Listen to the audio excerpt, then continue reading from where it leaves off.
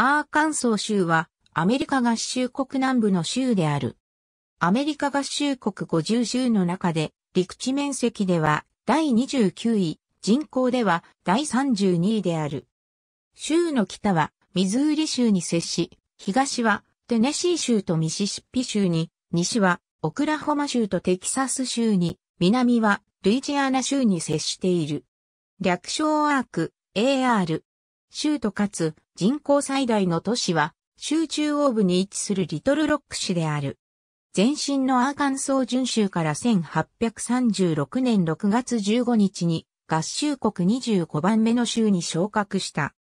地形的にはアメリカ内陸高原を構成するオザーク高原やワシタ山地のある山岳地から東部のミシシッピ川やアーカンソーデルタのある低地まで多様である。アーカンソーという名前はカンザス州と語源を同じくする。カンザ族インディアンはグレートプレーンズの数族と密接な関係がある。カンザ族と禁煙のクワポー族の言葉で、下流の人々の土地を意味する赤数、あるいは数族の言葉で、ハエの人々を意味する赤数をフランス語風に発音したのがアーカンソーである。なお、この語末の A シーンアザは、標準フランス語では A と発音するため、これをと発音するのは、ケベックフランス語など北アメリカのフランス語の特徴と言える。アーカンソーの発音については、州選出の二人のアメリカ合衆国上院議員の間で、片方がアーカンザスを主張したのに対し、もう一方がアーカンソーを主張するという論争があった。そして1881年の州議会立法で公式にアーカンソーと決められた。開拓初期に熊が多く生息していたため、熊のシューベアーステートという愛称がある。アーカンソー州となった地域を最初に訪れたヨーロッパ人はフランシスコ・ピサロがペルーを征服した時の軍人であるスペイン人探検家エルナンド・デ・ソトであり、金と中国への道を探してほぼ1年間アーカンソー南部を探索した後、1542年にミシシッピ川沿いの現在の近くで死んだ。スペイン人あるいはフランス人の探検家がミシシッピ川の下流に住んでいたクアポー族インディアンをイリノイ族が呼んでいた言葉から音を借りてアーカンソーという名前を付けた。アーカンソー地域に住んでいたインディアン部族としてはクアポー族、カド族、王政治族などがいた。彼らが西方に強制移住させられた後は文明化後部族が入ってきた。アーカンソーは1803年にアメリカ合衆国がナポレオン・ボナパルトから買収したルイジアナ領土の一部だった。1819年7月4日にアーカンソー準州となり、1836年に合衆国25番目の州、13番目の奴隷州として州昇格を認められた。農園経営者がアーカンソーデルタに入って綿花を栽培し、アフリカ人奴隷が最も多い地域となった。他の地域は自作農が多く、作物も多種にわたった。アーカンソーはテキサスがメキシコからの独立を果たした戦争で部隊や物資を送って重要な役割を果たした。州内はテキサス国境に近く1835年から1836年のテキサス革命に巻き込まれた。1834年にサミュエル・ヒューストンやその同調者がワシントン市の酒場で革命の計画を練ったという証拠もある。戦争が始まると、アーカンソー州など南東部州の志願兵がこの町を通ってテキサスの戦場に向かった。1846年に米北戦争が始まると、ワシントンは志願兵の集合地点になった。州知事のトマス・エスドルーは、州内で騎兵一個連隊と砲兵一個大隊を立ち上げ、アメリカ陸軍に加えるという声明を発した。10個中隊がまとめられ、アーカンソー騎兵第一連隊に繰り入れられた。ミシシッピデルタの東部では、綿花文化が発展し、農園主が連れてくるか、アッパーサウスの諸州から輸入した奴隷を大々的に使っていた。南北戦争開戦前の1860年、州内には11万1115人の奴隷がおり、州人口の25%を超えていた。1861年初期、湾岸の州は揃って合衆国から脱退したが、アーカンソー州が脱退したのは、サムター要塞の戦いに続いて、エイブラハム・リンカーン大統領が軍隊招集を呼びかけた後になってから、1861年5月6日だった。大規模海戦が続いた東部戦線とは異なり、アーカンソー州内では多くの小競り合いや小規模戦闘があった。当時注目されたのは、南軍のパトリック・クリバーン少将だった。多くの者が、南軍師団長の中でも最も傑出した将軍と、みなし、西のストーンウォールと呼ばれることも多かった。元連邦議会議員だったトマス・ハインドマン少将が州北西部で起きたケインヒルの戦いとプレーリーグローブの戦いで南軍を指揮した。軍政の敷かれたレコンストラクション時代、連邦議会は1868年6月にアーカンソー州の連邦復帰を宣言した。共和党が支配した州議会では男性の普通選挙や公共教育制度を導入し、州内の問題を解決し人口を増やすための方策を定めた。州議会は急進派共和党の圧倒的支配下に入り、パウェル・クレートン知事の下で共和党民兵とクークラックスクランとの間の暴動と人種間暴力の時代を過ごした。1874年、2年前の州知事選のもつれから共和党の派閥間での戦争であるブルックス・バクスター戦争が起こり、リトルロックや州政府を揺り動かした。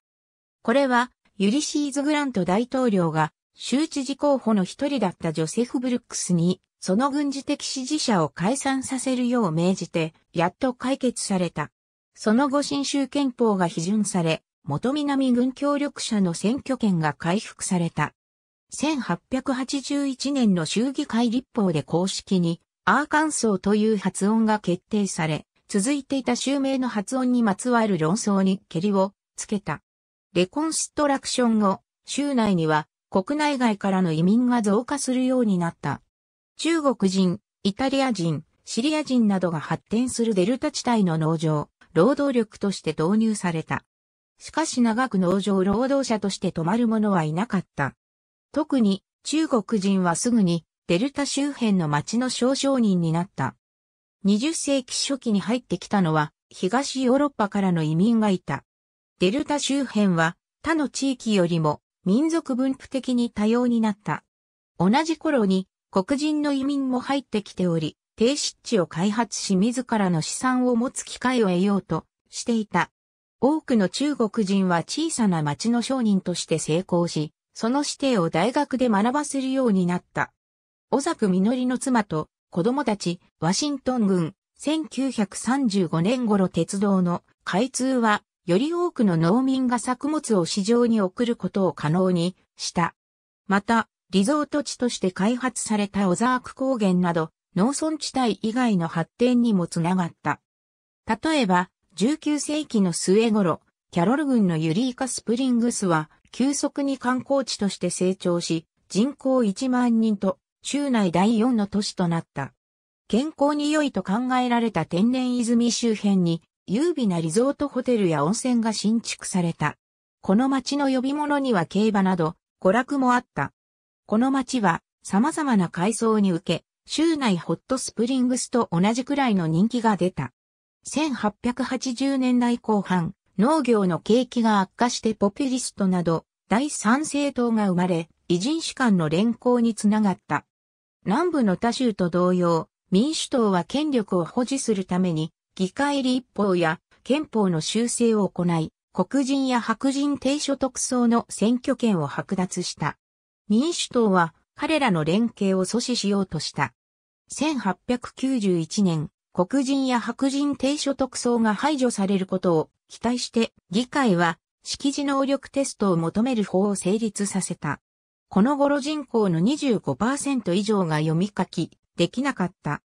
1892年、州憲法を改正して有権者登録税とさらに複雑な住民資格を定め、貧民や小作みのりなどを選挙から締め出した。1900年、民主党は軍と州の選挙で白人予備選挙を拡大し、黒人が政治に関わることを否定した。予備選挙で黒人が候補者になれたとしても、民主党が権力のすべてを掌握した。数十年間も民主党一党独裁が継続したが、1964年の公民権法と1965年の選挙権法、成立で、その時代が終わった。1905年から1911年にかけて、ドイツ人、スロバキア人、アイルランド人移民が少数ながら入ってくるようになった。ドイツ人とスロバキア人はプレーリーと呼ばれた中東部に入り、アイルランド人移民は南東部に小さな地域社会を作った。ドイツ人は大半がルーテル教会員であり、スロバキア人はカトリック教徒だった。アイルランド人はアルスターのプロテスタントが多かった。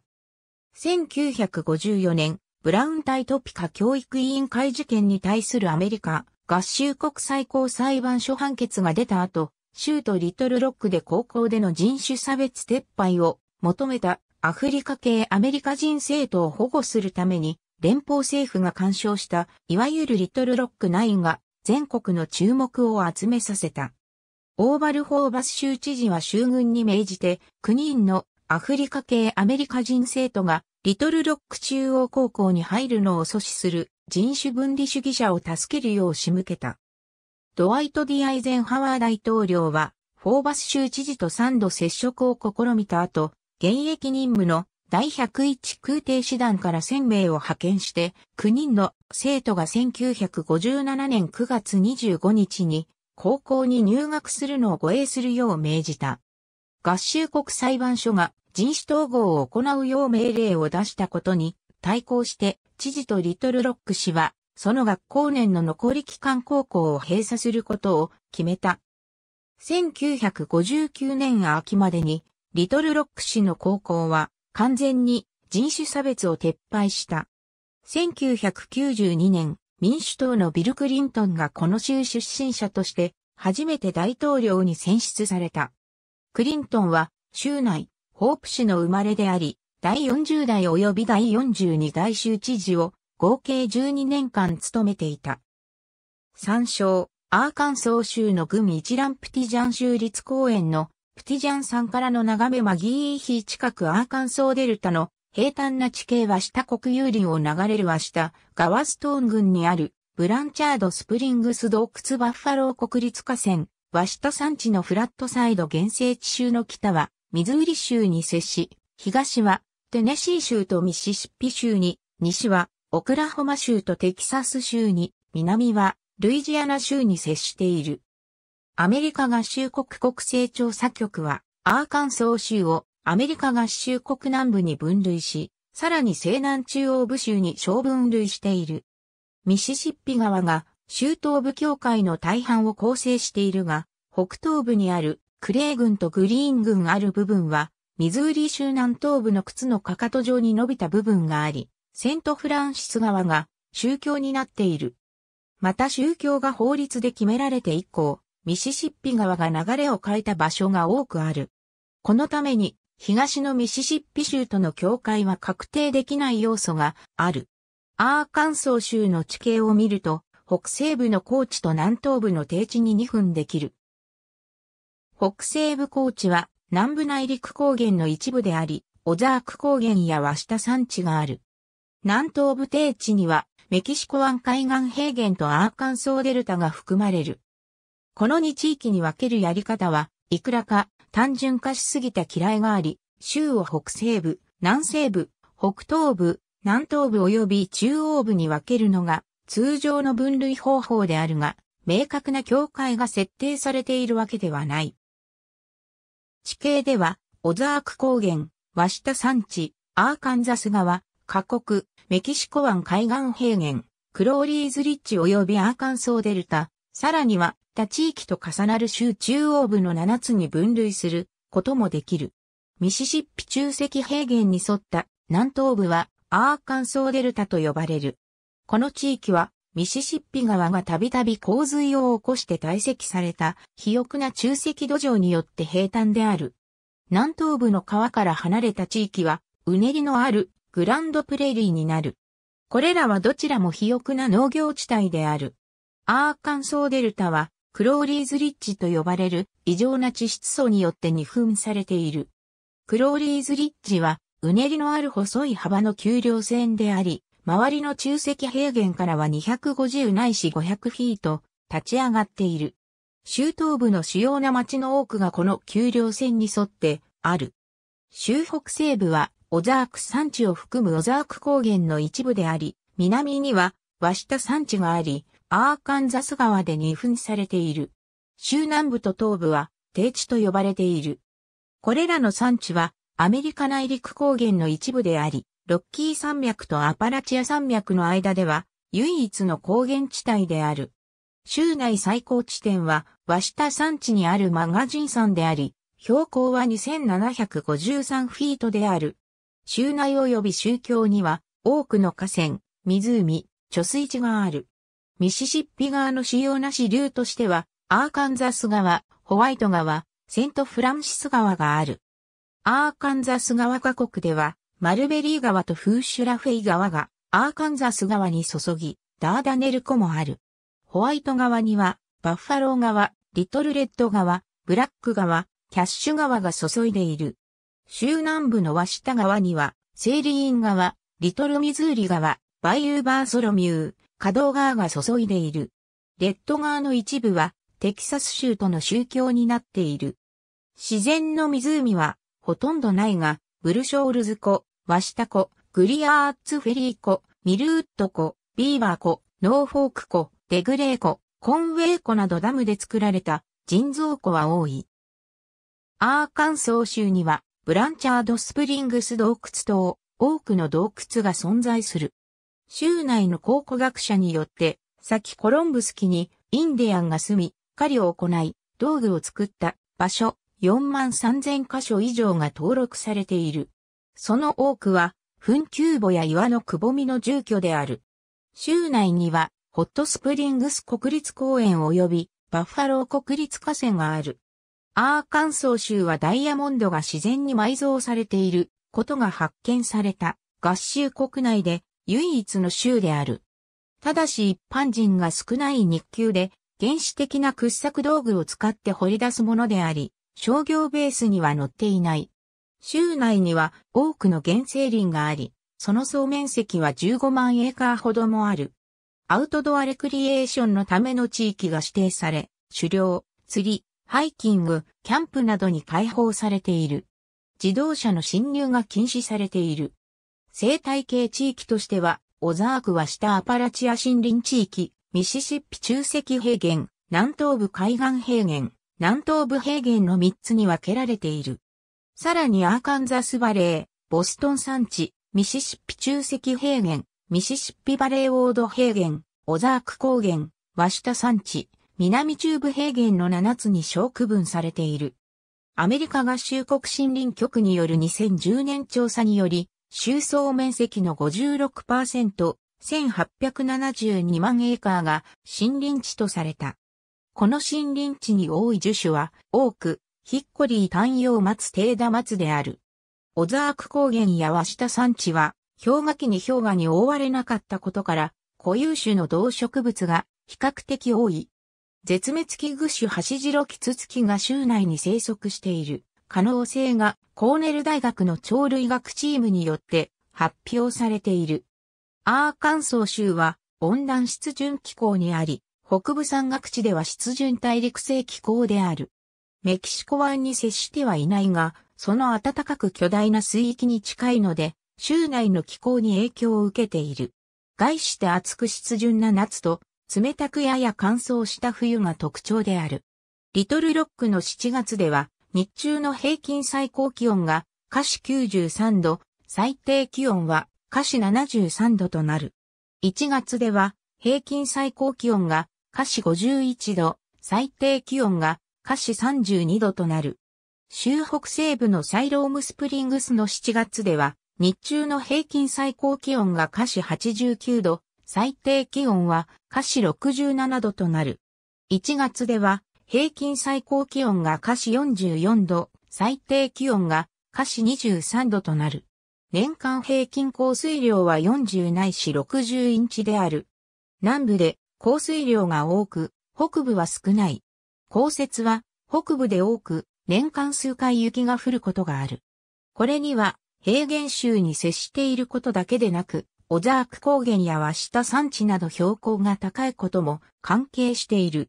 リトルロックより南部では雪が少ないが、日雨を伴う暴風に襲われることがある。冬季のみぞれなど凍るような雨は、州全体で見られ、交通や日々の暮らしに影響している。州内過去最高気温は1936年8月10日に、オザークで記録された、華氏120度、過去最低気温は1905年2月13日に、ラウンドポンドで記録された華氏29度である。異常気象でも知られている。通常年には雷雨、竜巻、氷、雪、日雨が見られる。グレートプレーンズとメキシコ湾岸の間にあり、雷雨は年間60日ほど記録されている。アメリカ市の中でも最大級の竜巻に襲われたこともある。海岸から離れているので、ハリケーンに直撃されることは少ないが、熱帯低気圧の名残によって短時間に多量の雨が降ったり、小さな竜巻を生むこともある。気温人口密度図2005年時点で、アーカンソー州は前年より29,154人、または1.1%増加し、2000年より10万5756人、または4.0%増加した人口277万9154人と推計された。これは2000年の国勢調査からの自然増5万2214人と、州内への移住者5万7611人の増加が含まれている。アメリカ合衆国外からの移住は2万1947人増加し、合衆国内部の移住者は3万5664人増加した。約48.8%が男性で51.2%が女性である。アーカンソー州の人口は1820年で1万5000人に満たなかったが、1835年の特別国勢調査時に5万2240人にまで増加し、州昇格に必要とされた4万人をはるかに超えていた。1836年に州昇格を果たした後、1870年まで人口は倍増を続けた。その後も成長を続けたが1950年と1960年にはいくらかの減少を記録した。これにはいくつかの原因があった。農業の機械化によって農業労働者の需要が減ったこと、教育を受けた若者が農業以外の仕事を求めて州を離れたことなどだった。その後は成長を再開し、1980年には200万人を超えた。現在の成長率、年齢別構成、男女比率は全国平均と同じ水準にある。少数民族比率もほぼ全国平均並みだが、ヒスパニック系の構成比率は全国平均より約10ポイント低い。アーカンソー州の人口重心はペリー郡の北東角となっている。州北西部のオザークや中央部では圧倒的にヨーロッパ系アメリカ人が多い。ミズーリ州との宗教に近い最北西部オザークでは、ドイツ系、アイルランド系、イングランド系が多い。アイルランド系は主に、北、アイルランド、スコットランド低地、及び北、イングランドから来た、スコットランド系アイルランド人プロテスタントであり、アメリカ独立前に渡ってきた者たちの子孫である。イングランド系とスコットランド系アイルランド人移民はアメリカ南部の田園部や山岳地に入植した。イギリス系アメリカ人は州内全域で見られる。アフリカ系アメリカ人は主に南部と東部に住んでいる。人種的な構成比は以下の通りである。2010年に調査された祖先による分類は次のようになっている。アメリカ人の祖先を持つと申告しているものの多くは、実際にはイギリス系が多く、いくらかはスコットランドアイルランド系であるが、多くのバガシ州昇格以前から州内に住んでおり、単純にアメリカ人と申告するか、自身の祖先を知らないかである。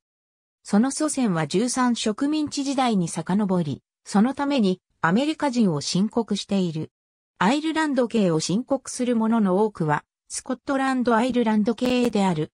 2000年現在、5歳以上のアーカンソー州民の93.8%は自宅で英語を話し、4.5%はスペイン語を話している。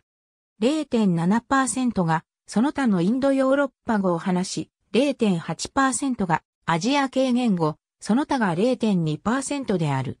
多くの他の南部州と同じく、アーカンソー州はキリスト教プロテスタントが多数を占める。住民の宗教的関係は以下のようになる。エルナンド・デ・ソトが遠征した16世紀のアーカンソー周辺のインディアン集落アーカンソー州に残るインディアンによる戦死時代の墳墓集落遺跡アーカンソー州を通る国道71号線はかつてチェロキー族のオクラホーマ州への強制移住に使われた経路である。16世紀のカスクイ村の復元塚同族連合、チェロキー族、地下相族、直東族、イリニ族、カスキ南ポ族、オフォ族、王政治族、クワポ族、チュニカ族、ヤズー族などのインディアン部族が農耕生活を営み、ことにイリニ族や多数の部族が柵で囲まれた土塁建築による大規模な都市を築いていた。17から18世紀に入ると白人入植者によって彼らの社会は完全に破壊され、ほとんどの部族は滅ぼされた。州名の由来となったアーカンサス族をはじめ、この州のインディアン部族のほとんどは19世紀に他州へ強制移住させられた。アメリカ連邦政府によって公式に認定され、保留地を領有するインディアン部族は一つもない。なおもこの州に先住するインディアン部族は20世紀にすべて絶滅部族として認定を取り消され、保留地を没収された。現在インディアン部族は北西部、オザーク及びこの州の中央部に強力に存在し、復活したワシタのインディアンアーカンソーアメリカを組織して部族の再認定と保留地の返還を求めている。一方、同州に本部を置くアメリカインディアンの生徳権の支援センターは、これらの部族、団体を身元の怪しい詐欺集団と弾劾していて、ことの成否はインディアンにしかわからないものとなっている。支援センターは、これらの団体の活動に多数の白人ブローカーやプラスチックメディスンマンの介在を指摘し、営利性の強さを指摘している。アメリカ連邦政府に対する絶滅扱いされた非公認インディアン団体の公式認定要求で資金集めに名を借りたこういったブローカーの暗躍はインディアン社会ではしばしば指摘されている問題である。アーカンソー州では、州下の学校のクラブチームに、1931年から王政治族にちなんで、インディアンマスコットの応援キャラクターが使われてきた。同州は2008年2月28日にバスケットボールのホームゲームの終了をもって、このインディアンマスコットを公式に廃止した。文化も風俗も無視したステレオタイプなインディアンのスポーツマスコットは、インディアンをおもちゃ扱いする人種差別であるとして、全米のインディアン団体が根絶廃止を求めている対象の一つである。アメリカ連邦政府に公式認定を要求中のインディアン部族と団体アーカンソー州では、インディアン部族は絶滅したことになっているので、部族が運営するインディアンカジノは現在のところ一件もない。1988年に制定されたインディアン賭博規制法は連邦公認されているインディアン部族に州政府の管轄権の及ばない土地に限ってカジノ設営を認める連邦法である。この場合の土地はリザベーション、つまり連邦下州に認定された部族だけが領有できる土地、または彼らが内務省預かりとした土地を言う。隣州のオクラホマ州に保留地を領有するオクラホマチェロキー族の主軸組織、キートゥアーバンド連合は、この規定にのっってアーカンソー州フォートスミスに部族カジノのカシノカジノを計画10エーカーの土地を連邦信託の保留地とする申請書を提出した。この計画が実現すれば、オクラホマのチェロキー族のカジノは、アーカンソーのチェロキー族同胞の雇用を生むことなり、彼らに対し多大な経済的効果が及ぶとみられる。2008年1月、米国内務省はこのキートゥアー連合の申請を却下し、その理由として彼らの保留地からカジノまで距離が遠すぎると説明した。これは全くの新方針であり、キートゥアー連合はこれを驚くべき方針変化としている。予定地はオクラホマの彼らの保留地から90マイル離れており、19世紀にアメリカ連邦国家によって強制移住させられる前の彼らの本来の故郷に近い位置である。この距離基準に基づき、内務省は他州の重部族から同州に出された同様の申請書をすべて却下した。参照、アーカンソー州の都市圏の一覧、EN、リストオブシティーズイン。アーカンソー、EN、リストオブアーカンソータウンシップス、州内には人口2万人以上の都市が20にある。リトルロックは1821年にアーカンソーポストに代わってアーカンソー準州の州都となって以来州都であり続けている。南北戦争の1862年、北軍がリトルロック市を脅かした時に、州都はホットスプリングスに続いてワシントンに移され、戦争が終わってからリトルロック市に戻ってきた。リトルロックノースリトルロックコンウェイ大都市圏は人口70万人以上を抱え、州内最大である。フェイエットビルスプリングデールロジャーズ大都市圏が州内第2位であり、企業の進出とアーカンソー大学の成長によって成長速度の高さを維持している。人口5万人以上の都市が8つある。第2位のフォートスミスと第5位のジョーンズボロは上記2つの都市圏に属していない。アーカンソー州会議児童現在のアーカンソー州知事は2014年の選挙で選ばれた共和党のエーサ・ハッチンソンである。副州知事は共和党のティーム・グリフィン。アーカンソー州選出のアメリカ合衆国上院議員は、ジョン・ボーズマンとトム・コットンで、いずれも共和党である。アーカンソー州は、アメリカ合衆国下院に4議席を保有している。1議席は、民主党のマイク・ロス、他の3議席は、共和党のリック・クローフォード、ティム・グリフィン、スティーブ・ウォマックが保有している。民主党は、州議会の多数を占めている。地方や州の役人もその大半は民主党員である。州の役人の大半を共和党が保持している現代南部では、このアーカンソー州の姿は異常になりつつある。1992年の大統領選挙でアーカンソー州生まれのビル・クリントンに過半数の票を投じた。他の州が3人の候補者の中から相対多数で選挙人票を渡すものを選んでいたのに、対し、アーカンソー州は得意な存在になった。近年の大統領選挙でアーカンソー州は共和党への傾斜を強めている。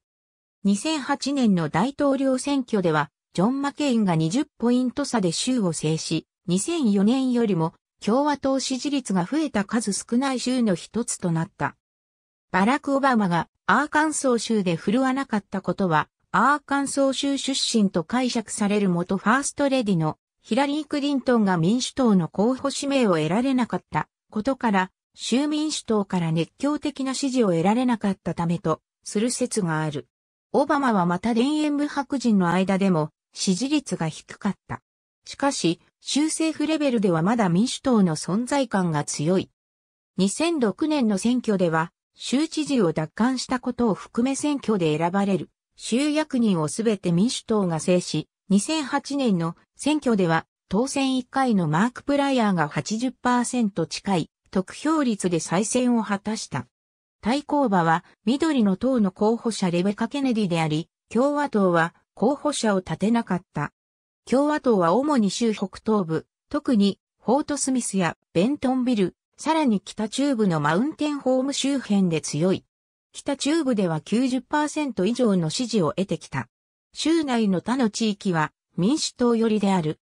レコンストラクション時代以来、共和党はアメリカ合衆国上院の2議席とも独占してきたが、最近は民主党員に入れ替わってきた。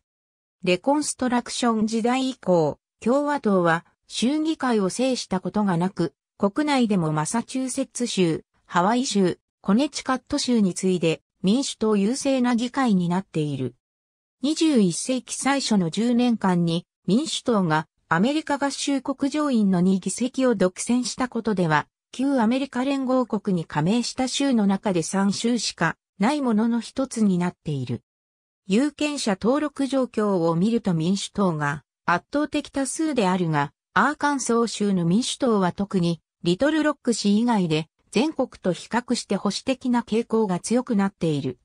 州議会の民主党員はブルードック連合に入っており、中道から左派が主流である民主党本流と比較して、事業より、軍事より、かつ社会的には保守的である。州内に福音主義プロテスタントが多いこともあって、社会的に強い保守色を示している。アーカンソー州憲法の下で働く権利のある州であり、有権者は同性結婚の禁止に75%が同意し、老体、米ド事件最高裁判決が覆るときには人工中絶を再び禁止する法を持つ数少ない州の一つである。副知事は州知事とは別に選出されるので、両者の所属政党が異なる場合がある。州役人の任期は4年間である。任期制限があり、2期プラス第1期前の部分的な任期となっている。知事の任期は住民投票で延長が認められるまで2年間だったが、1986年の一般選挙から4年間になった。州レベルの選挙は大統領選挙の年の2年後に行われている。軍内75の軍のうち10軍は2つの軍庁、所在地を持っている。これは軍内の移動が極めて困難だった時代に起源がある。軍庁所在地は軍内の北と南という風に対照的な位置にあるのが普通である。移動が要因になって二つの軍庁所在地という仕組みを排除しようという動きはあったが、軍庁所在地であるということが関連する町の自負心につながっているため、現在も消えていない。アーカンソー州憲法第19条第1項は、役職に就く、資格なしとされた、あるいは承認として宣誓する、資格なしとされた無神論者という題であり、神の存在を否定する者は、この州の公的部門の職に就くことを得ず、いかなる裁判所でも承認として宣誓することができないとされている。しかし、1961年、10日訴対、ワトキンス事件について、アメリカ合衆国最高裁判所判決は、メリーランド州にある同様な要求事項がアメリカ合衆国憲法修正第1条と同第14条に違反するので、この要求を強制できないと判断した。アメリカ合衆国憲法修正第14条は、判例によって修正第1条を含む権利焦点が各州を拘束するものとしている。その結果、この要求事項は現代では強制できないとみなされ、裁判所で異議申し立てがあっても却下されると理解されている。アーカンソー州の2010年の総収生産項は1030億米ドルであり、2004年の一人、あたりの収入中央値は35,295米ドルだった。農業州であり、近年は大豆、モロコシや米、鶏肉と鶏卵、牛、豚、牛乳、綿花などを産する。製造業としては、加工食品、電気機械、金属製品、機械類、紙製品があり、石油、石炭、ボーキサイト、臭素、バナジウムなどの資源もあるが、経済的水準は低い。アーカンソー州4分の1ドル効果2011年8月時点で、州内失業率は8.3%である。州北西宮にはウォルマート、JB ファント、タイソンフーズなど、世界的企業数社が本社を置いている。世界最大の流通小売業者ウォルマートは、州北西部のベントンビルに本社を置いており、同市を企業城下町としている。この地域は1970年代から好景気を経験している。近年州東部では自動車部品産業の工場が開設され、他州の自動車組み立て工場を支えている。観光業も大変重要になってきた。州の公式のニックネーム、自然の州は1970年代に観光宣伝用に作られ、今日でも日常に使われている。全米随一の温泉都市であるホットスプリングスが知られ、一帯はホットスプリングス国立公園となっており、年間300万人が訪れる一大観光地となっている。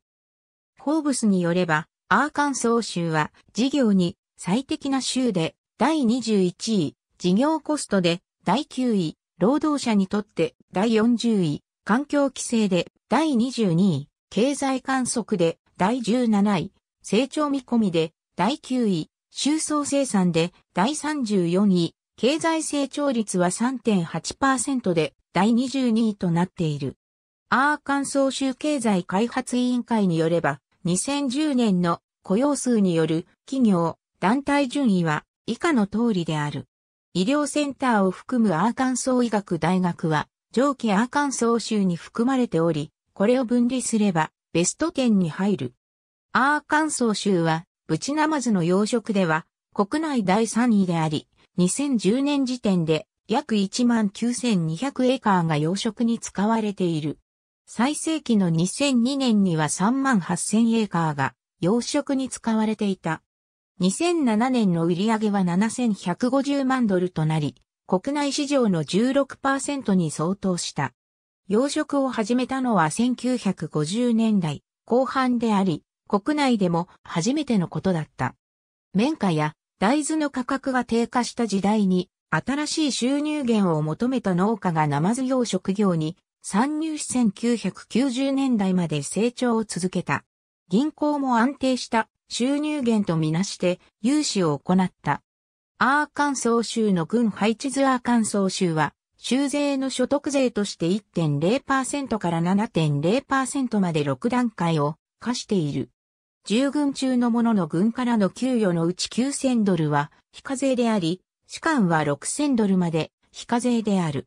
退職者は社会保障費について無税であり、年金については基礎控除後に6000ドルまで非課税である。テキサーカナ市住民はアーカンソー州の所得税を払う必要がない。テキサス州のテキサーカナ市住民がここで得た賃金や事業所得も非課税である。消費税と使用税は現在6%である。様々なサービスも消費税の対象になっている。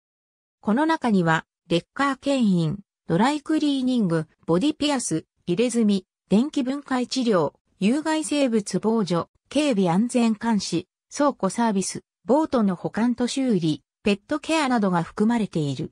州税の消費税に加えて300以上の地方税がある。都市や郡は地方税を課す権限があり、また有権者の承認でそれを使うことができる。これら地方税には上限がある。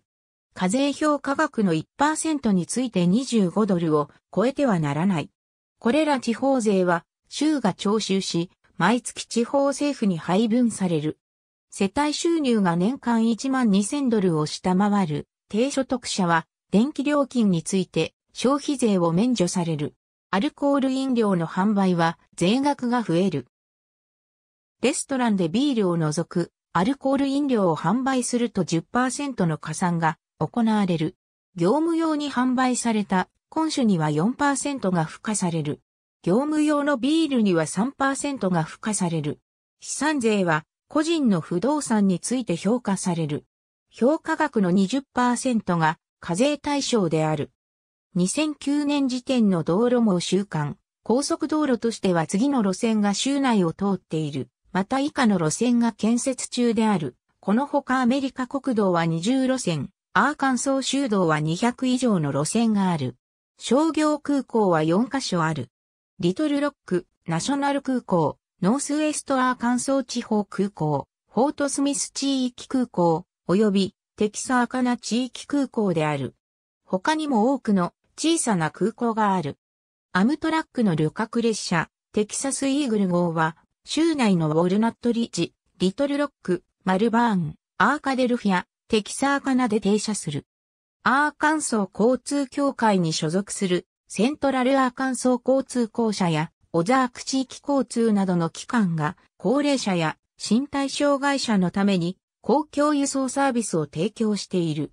アーカンソー大学アーカンソー州立大学は業家業作業他業な業派業魔業や業、ラ業和業。ありがとうございます。